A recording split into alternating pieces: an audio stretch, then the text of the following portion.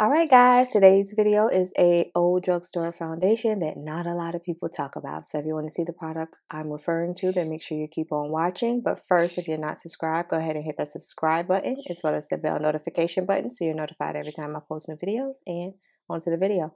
Bye guys. Okay guys, let's start off with primer today. Of course, it's the NYX Blur and I think I'm going to use my One Size Secure the Blur. So I'll be using these two primers today. I was actually sat down to do my makeup and I'm like, hmm. I looked over to the side, I saw this foundation.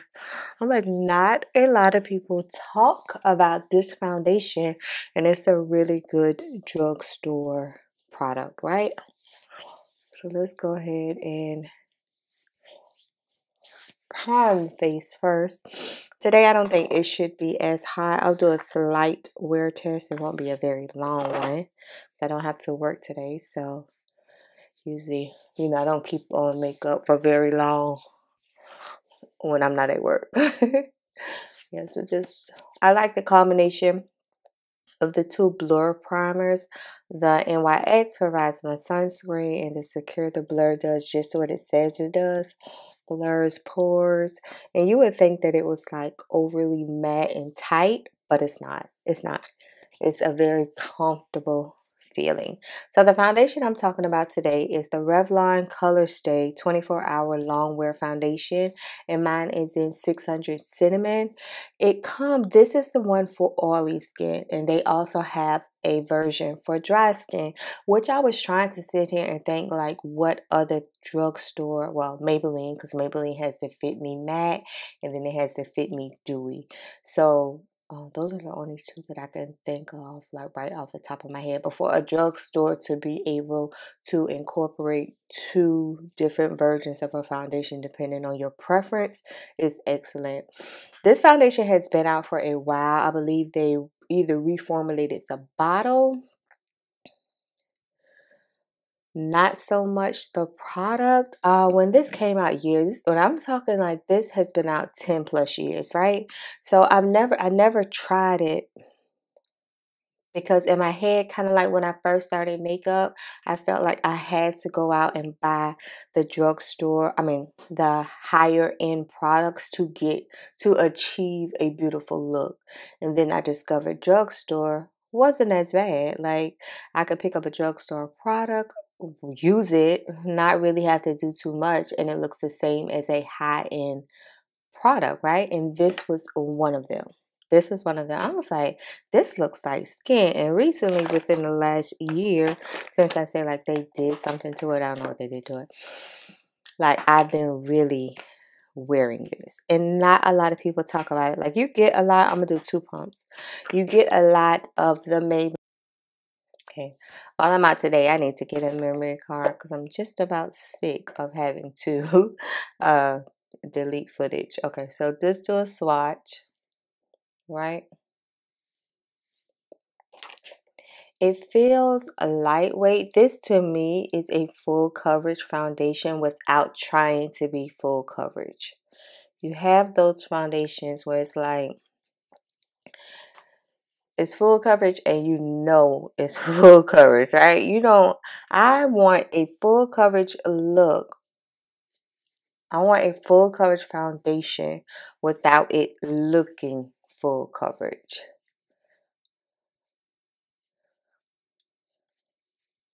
I just still want it to look like my skin, but be lightweight, breathable, natural looking, but full coverage. And for me, this foundation does that, if you could see.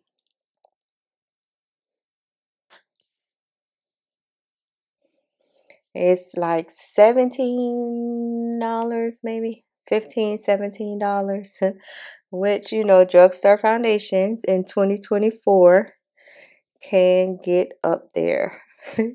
so it's $15, $17 is not bad, okay? but see how my skin still looks breathable it still looks but it covered because I have a mark right here and I don't see it you don't see it. Right? And I used to always be afraid, like when I first started makeup, I used to always be afraid of drugstore products also because I felt like they were going to break me out because my skin is so sensitive. My skin is so sensitive. Like I'll know right off the bat if a product breaks me is going to break me out. Like I'll put it on and I'm going to start itching immediately, being irritated, like everything. So yeah.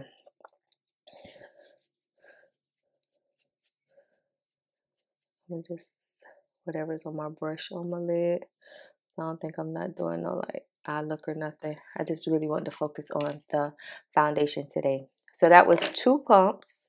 And this is how the skin is looking. Let's go ahead and do a concealer, which I think I'm going to do my nude stick. One of my buddies was like, no, no, I finally picked up the nude stick. She got shade number nine. She was like, she like it. I was like, oh, I'm so happy you like it. Because this is another product that, for whatever reason, not a lot of people talk about. Like, I feel like this is a lightweight, full coverage concealer, if that's possible at all. it offers maximum coverage, but it doesn't. And I feel like when using concealers like under your eye, you have to be really careful because you don't want anything that's really heavy. Or for me, I'm only combo, but I don't want anything that's really drying underneath my eye because a dry under eye can be really, really uncomfortable. Okay. So let's go ahead and blend this out I need to get dressed so I can go.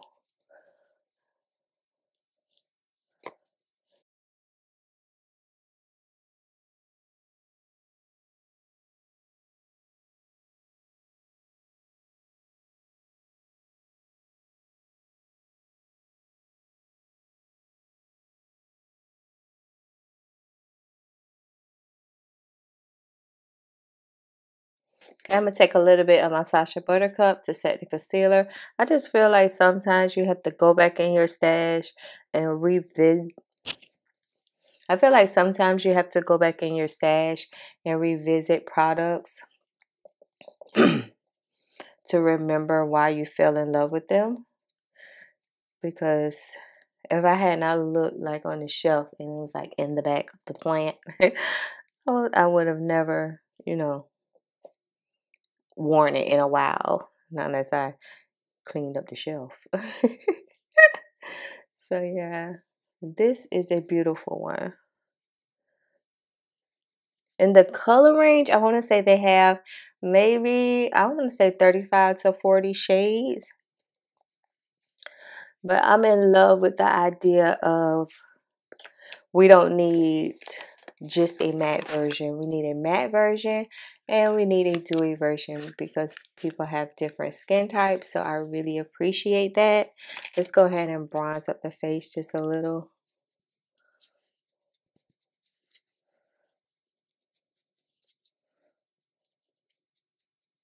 Using my Black Radiance Pressed Powder. And you all, you all always know that I'm always going to say whatever products I use, eh, they have to work with products I already have and love and use on a daily basis because I can't go out and buy a product just so that it can work with another product. That's not going to work for me. right?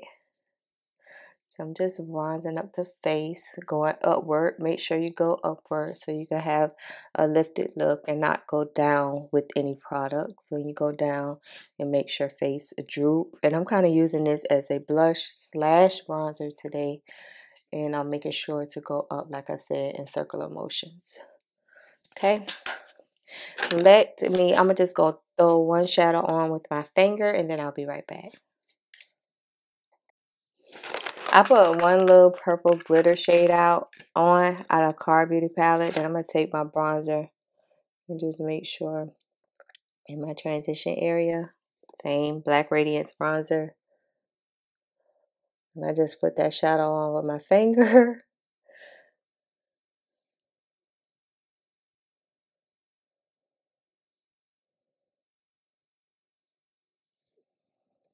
like that. And I'm bronzed up. Mm, did everything. Oh, that was a quick look. Let me throw on some mascara, even though this not part of what I'm talking about here. That was real quick. Going there.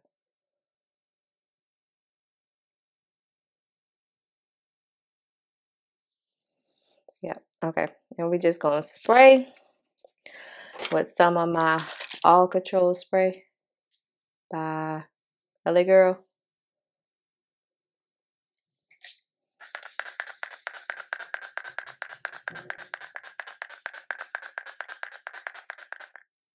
Alright guys, this is the completed look using the Revlon foundation. I'm just wearing for a couple hours. I'm going to go to the store and come back even though I have videos on my channel already. I'm doing a full wear test on. If you're interested in any foundation product, just go to my foundation playlist and you'll see wear tests and first time, um, what do you call it? First time, try it out for the first time videos of all foundations I ever reviewed on my channel, but this is how the skin is looking and it looks quite natural and still has a full coverage type of look. Like I said, I'm gonna run to the store and I'll be back and just to give you an idea of how it wears for a couple of hours. So I'll be back. All right, guys, I'm back after a little over four hours, and this is how the skin and everything is looking. I let a little natural light in so you can actually see. I feel like you see so much more in natural light, but this is how the face is looking. I went to about five stores today, totally off subject. Five stores today, and it was early in the morning, of course. It was like 7 30 ish, 8 ish, or whatever. But nobody, I would be like, Good morning Nobody said good morning. I know you heard me. No good mornings or anything. I know a lot of people say, Oh, I'm not a morning person. That's why I don't say good morning or be jolly in the morning because I'm not a morning person. Baby, let me tell you something. If God woke you up and got you going in the morning, then you need to be a morning person and greet people and say hello, especially if you're in a customer service. if you're in a job that requires customer service, you need to be good morning, how are you? Even if you're not in customer service each day that you're able to get up in good health and able to do everything you need to do for the day should be a good day. It's a blessing to have that day. I've always been that way. I've always been good hey how you doing good morning you know even when i don't feel my best even when i got stuff going on in my life that i'm not happy with you'll never know because i'm still gonna good morning and be happy because it takes so much energy to be negative and to say, Oh, I'm not going to speak. You know how much energy it takes for you to not speak versus speak? Like it take a lot for you to say, mm, I'm not gonna speak today. I don't feel like this. I'm tired. I had a long night. I wish they just pick up their stuff and get out the store instead of just saying, Good morning. See how easy that was? I I just don't understand. And my I've always said these jobs and these companies, even for myself, they didn't come get you and be like, oh, I need for you to work with me. Like, you're the best person. I don't know you. I don't have a resume for you. You didn't put in an application. No one referred you. But I'm just coming to you because I know that you're the person for this job. They didn't come to you. You know what happened? You filled out an application. You did an interview. They hired you based upon what you said in your interview that you were a customer service person. You know, you had all these skills to greet customers customers and help with uh, situations you know customers customers might have or anything that's why they hire you. Then when you get the job it's like i'm here and it oh oh this is totally off subject i gotta hurry up what really wrecks my nerves is I know nowadays like everything is self serve, like self checkout, or if you even if you go through a cashier line, like they're bagging their own groceries. But if you see an older person in a wheel cart or whatever, and you're just sitting sitting there on your phone waiting for them to put the product on the belt you know, wouldn't it be much faster if you just take the time to just go around, take the stuff out the cart for them, and then you can scan the stuff, but you'd rather, because you're on your phone. You're on your phone, so this give me a little opportunity to be on my phone versus helping this elderly person put this stuff. Oh, that irritates my nerves. that irritates, but on a good note, we're going to leave off on a good note. On a good note, I was getting in the car from coming from Kroger and I saw this older lady. She was going in the Goodwill that was next door and this had to be about probably like 8:30 by this point. 8:30 at this point and she had like her hair done, she had her makeup done, she had her little bag and she was older. When I say older, I'm like probably like 70s, if not early 80s. And she just looked so, her shirt was so crisp and white, and she had on some like her little denim jeans, and it was a, such a cute combination. But she was done up, and this is eight something in the morning. So if someone who is 70 plus can put herself together to go do her her errands and run around then the younger people need to take notes from the older people and not just come out the house any kind of way just because they can and it's nobody business how I dress. Like you could tell she took pride in just putting herself together, even if it was to go to go Goodwill and and thrift shop for the day. Like she looked so, and I just was sitting in my car looking at her get out, and I just was smiling. I was like, she looks so good. that and that's in my head. I was like, oh, that'll be me when I get seventy, like all done up, going to Goodwill early, first thing in the morning, because I want to beat the crowd. But anyway, that was just so off subject. But anyway, so this is how this skin is beautiful. But you did notice today that I didn't set it with the powder. I set my concealer with the powder, but I didn't set the foundation other than spray my um setting spray. I feel like some foundations you just have to learn if I need to set it with powder or if, if this is going to be a more self-setting foundation. You just have to learn your foundations as you go. Yeah, so this is a series. It'll be seven days of new slash old foundations depending on what foundations I decide to, you know, pick up again, revisit try it again. So it'll be seven days of this. So make sure you stay tuned for tomorrow's video. I gotta wait for those to come in the mail, so hopefully they'll come today. But make sure you stay tuned all week because we're gonna be on the road. But this is how it's looking. I just think it looks natural.